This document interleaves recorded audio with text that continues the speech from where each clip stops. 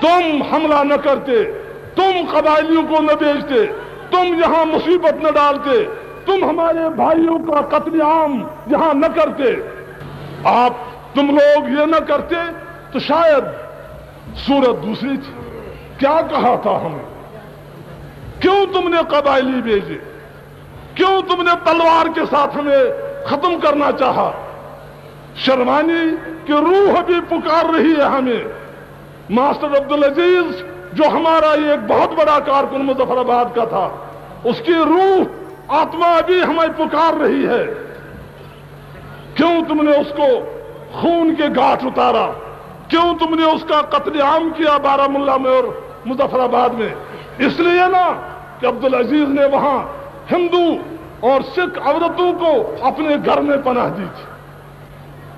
اور یہ کہا تھا کہ اسلام اجازت نہیں دیتا ہے قتل کرنے کی اس طرح۔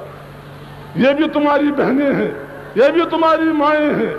میں نے اگر ان کو پناہ دی، میں نے گناہ کیا کیا؟ تم نے پاکستان بنانا ہے، مجھے اس سے کوئی غرض نہیں۔ محض اس گناہ پر اس کو گولیوں سے چھلنی بنایا گیا۔ اگر تم یہ حرکتیں نہ کرتے، نقشہ شاید کچھ اور ہوتا۔ تم نے ایسی حرکتیں کی اور بازی ہار گئے۔ باقی اس وقت ہم تو اس طرح سے بیڑ بکریوں کی طرح سے اپنی قوم کو قتل ہونے کی اجازت نہ دیتے۔ ہم نے مقابلہ کیا۔ ہمارے پاس ہندوستان کی فوج نہیں تھی۔ ہمارے پاس خود اپنی یہاں ریاست کی فوج نہیں تھی۔ لیکن ایک عزم تھا، ایک ارادہ تھا۔ وہ ارادہ آج اس وقت ہم نے نہیں کیا تھا سینتالیس میں، وہ اکتیس میں عزم کیا تھا۔ ہم کسی بھی شخص کو ہم اپنی تقدیر کے ساتھ کھیلنے کی اجازت نہیں دیں گے، وہ کوئی بھی ہو۔ تمہارے نمائندے ہمارے پاس آئے۔ ہم نے ان سے کہا کہ ہم ہمیں تو کوئی جھگڑا نہیں۔ پاکستان اور ہندوستان تم لوگوں نے بنایا۔ ہم یہاں سوچیں گے اب ہمیں پاکستان میں جانے سے فائدہ ہوگا۔ یا ہندوستان میں رہنے سے فائدہ ہوگا، یا آزاد رہنے سے فائدہ ہوگا۔ یہ فیصلہ کرنا ہمارا کام ہے۔ یہ فیصلہ کرنا یہاں کے ہندو، سکھوں، مسلمانوں کا کام ہے۔ اسی کو حق خود ارادیت کہتے ہیں۔ ہم نے کہا تھا کہ تم جو ہمارا فیصلہ ہوگا، اس کو تمہیں قبول کرنا چاہیے۔ جو ہمارا فیصلہ ہوگا، اس کو ہندوستان کو قبول کرنا ہوگا۔ جو ہمارا فیصلہ ہوگا، دنیا کو قبول کرنا ہوگا۔ تم نے کہا نہیں۔ تم نے کہا نہیں۔ تمہاری تقدیر کا ہم نے فیصلہ کر لیا ہے۔ میں نے پوچھا کہ وہ آپ کو کس نے وہ مختار نامہ دیا تھا؟ ہم نے تو نہیں دیا تھا مختار نامہ تم ہماری تقدیر کا فیصلہ کرو۔ ہم تو اکتیس سے لڑتے رہے ہیں کہ اپنی تقدیر کے مالک ہم خود بنے۔ تم کیسے ہماری تقدیر کا فیصلہ کر کر سکتے تھے؟ انہوں نے کہا، بہرحال ہم نے کیا۔ اور اگر تم نہیں مانتے ہو، پھر ہم دوسرا طریقہ اختیار کریں گے۔ میں نے کہا، اگر تم نے وہ طریقہ اختیار کیا، تو ہماری لاشیں ہوں گی، پھر تمہیں آنے دیں گے اپنے وطن میں۔ انہوں نے ایسا ہی کیا۔ انہوں نے قبائلی بھیجے۔ انہوں نے تلوار کے زور سے ہمیں اپنا غلام بنانا چاہا۔ ہم نے اسے انکار کیا۔ ہم نے عزم کیا کہ ہم جانے دیں گے، لیکن کبھی بھی اس پوزیشن کو قبول نہیں کریں گے۔ ہم نے امداد طلب کی۔ ہم نے مدد مانگی۔ آخر ہم نے اپنی عزت کو بچانا تھا۔ اس وقت ہندوستان سامنے آیا۔ اس نے ہمارے ان قدروں سے اتفاق کیا۔ ان مقاصد سے اتفاق کیا جن کے لیے ہم جنگ لڑ رہے تھے۔ اور ہمارے اس حق کو پوری طرح سے تسلیم کیا کہ ملک کی تقدیر جو ہے وہ یہاں کے ہی لوگ بنا سکتے ہیں۔ جو بھی ان کی مرضی ہو۔ چنانچہ وہی ہمارا ان کے ساتھ سمبند ہوا، اسی لال چوک میں۔